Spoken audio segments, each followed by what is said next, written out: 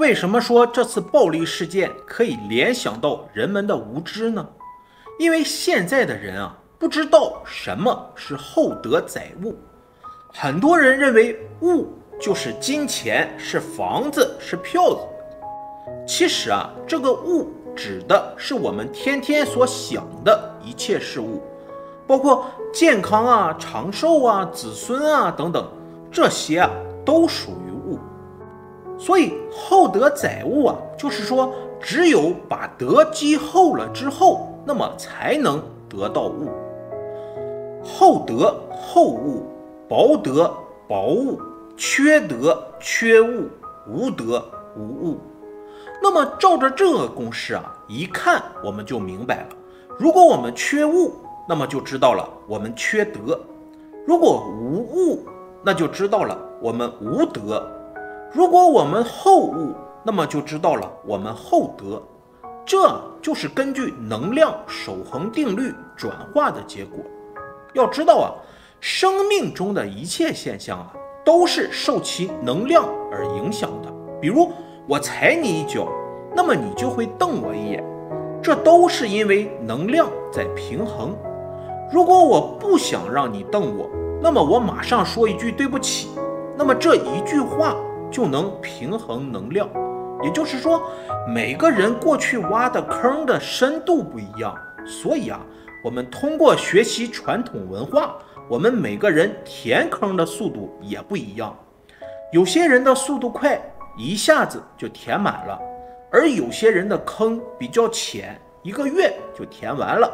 所以这些人的道路就看起来平坦。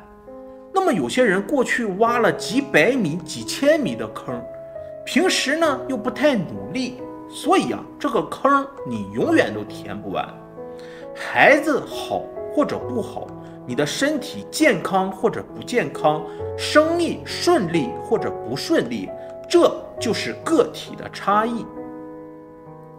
生命中的一切现象，都是受能量的影响，都是根据能量守恒的原理来创造的。